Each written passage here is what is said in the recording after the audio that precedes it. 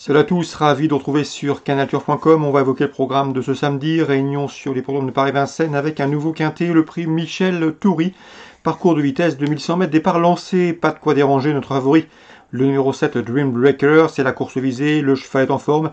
Il vient de se classer troisième à Vincennes dans un quintet, derrière de bons chevaux, notamment son compagnon d'entraînement Défi de Retz. Sachez que le cheval a couru cinq fois sur ce parcours, il a été disqualifié à trois reprises certes, mais il a également signé deux succès, il sera pieds nus. À mon avis, il devrait répondre présent. Je lui poserai numéro 3, Classe de l'Oriole, qui à mon avis est la bonne base de la course. Une jument sur laquelle on peut compter. Sachez qu'elle compte déjà 6 euh, places en 12 quintés courus, qu'elle a couru également 6 fois sur le tracé proposé et qu'elle n'a pratiquement jamais déçu puisqu'elle compte déjà 5 podiums en 6 tentatives sur ce parcours. Le numéro derrière la voiture est très intéressant. Elle devrait jouer la victoire le 4, unique Jenny. Mérite crédit. Cette jument avait terminé quatrième d'un groupe 2, le prix Ténor de Beaune, l'an dernier à pareille époque. Elle terminait dans le sillage de chevaux de la trempe, de Looking Superbe, encore David Dupont. La ligne est parfaite. C'est vrai que ce jour-là, elle avait profité de certaines disqualifications, mais attention euh, à cette concurrente. Ensuite, on retiendra le 15, Doom Genilou, le 8, B1 des Tirons, le 10, Azur des Caillons et le 16, Cache du Rib. Ces quatre-là se connaissent bien, ils ont respectivement été affichés 3e, 2e, 5e et 6e du prix de Cossil-Vivien disputé le mois dernier, le 17 novembre, sur ce parcours. A noter que le 10 Azur des Caillons possède en 1.19 le meilleur chrono du peloton sur ce parcours. Attention également au numéro 9, Général Bianco, un cheval qui a des références à faire valoir sur notre sol. Début janvier 2019, euh, il s'était classé 3e d'un groupe 3 sur ce parcours.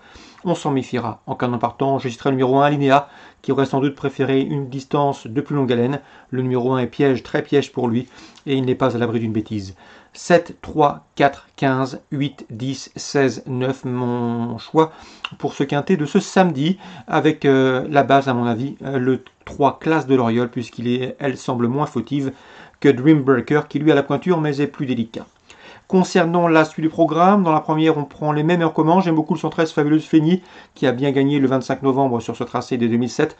Elle devrait confirmer face au 14, qui était deuxième ce jour-là. C'est Ferinanama. Face au 1, c'est First des Charmes, troisième, ou encore face au 9, Flamme Vive, sixième ce jour-là. On le reposera bien sûr le 105 Fauve Berry, qui reste sur un plaisant succès fin novembre sur la petite piste.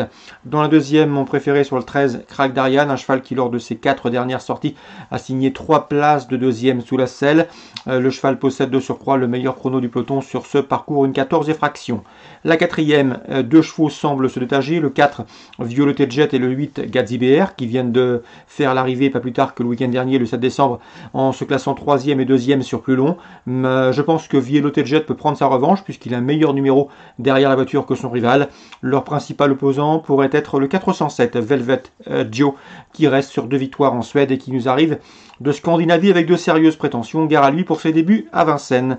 407, 408 et euh, surtout le 404. La sixième, attention, 607 est là de Camdos, qui à mon avis a de bonnes chances de succès. Elle a couru quatre fois trop montée, résultat de victoire, une place de deuxième, et en dernier lieu, euh, le 27 novembre, elle semblait en mesure de lutter pour la victoire lorsqu'elle a fait la faute dans les tournants en se penchant sur une rivale. Euh, à mon avis ici, la victoire est possible, d'autant qu'elle possède en 1.13.6 le meilleur chrono du peloton sur ce parcours. Dans la sixième également, on lui adjoindra le 612, c'est Excessive Well qui avait pris la quatrième place du prix de Normandie, un groupe 1, disputé au mois de septembre pour ses 5 ans, une jument de 5 ans donc de qualité.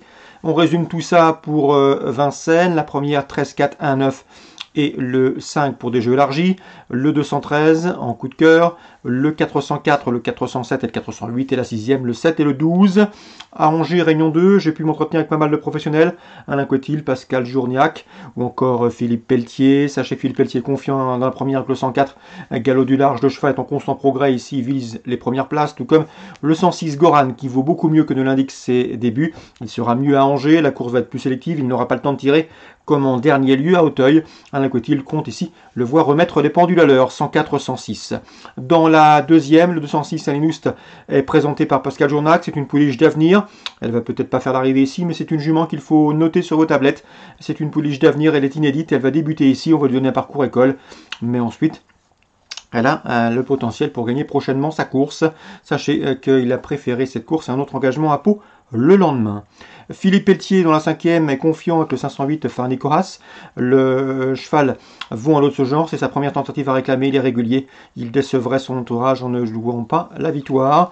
Dans la sixième, Pascal Journiac présente le 603 Twist de la barre, le cheval est en forme, adore le lourd, il devrait être dans le coup, tout comme euh, le protégé de Philippe Pelletier, le 608 Charmino qui vient de s'imposer sur le Steeple Chase de Nantes et qui devrait confirmer dans cette épreuve. Alain Coetil dans la septième aura deux partants, le 703 El Martel qui effectue une rentrée, mais attention, le cheval a du boulot, il n'est peut-être pas à 100%, mais il a de la qualité, ça doit suffire ici pour faire l'arrivée dans ce genre de tournoi. Le 713 Rambo lui est sans doute inférieur, mais il est mieux placé au poids dans ces conditions. Euh, il peut également terminer sur le podium d'une course comme celle-ci, 703-713. Concernant Deauville Réunion 3, j'ai ciblé la huitième course avec le 2 Alfieri et le numéro 5 Dimster. Ces deux-là possèdent les meilleures valeurs théoriques du peloton, étant respectivement en 41 et 42,5 de valeur. Ça doit suffire ici pour jouer les premiers rôles. L'engagement est très intéressant. 802 Alfieri et 805 Dimster. Concernant Cagnes Réunion 4, trois coups de cœur à vous indiquer. Le 114 Eléa Mip, elle se plaît à Cagnes, elle est à réserver pour ce meeting d'hiver elle sera pieds nus pour cet objectif. Le 400 13, c'est Bounia. Il a de la marge dans ce genre de tournoi pour un amateur. D'ailleurs, il a gagné facilement dernièrement, je vous l'avais indiqué. Il a répondu présent, il sera de nouveau pieds nus et devrait une nouvelle fois jouer la victoire.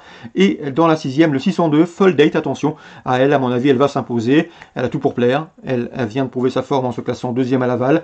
Elle a couru trois fois sur ce tracé. Résultat, trois podiums, dont une victoire. Et elle possède euh, le meilleur chrono du peloton sur ce tracé, un chrono d'une 13-4. Le numéro derrière la voiture est excellent, numéro 2. Elle sera pieds nus. Bref, vous l'aurez compris, difficile de jouer contre 602 full date. L'engagement est sur mesure elle d'en tirer profit. Voilà pour les infos de ce samedi. On se retrouve demain pour un nouveau programme. On parlera notamment d'un critérium qui aura lieu sur l'hippodrome de Paris-Vincennes.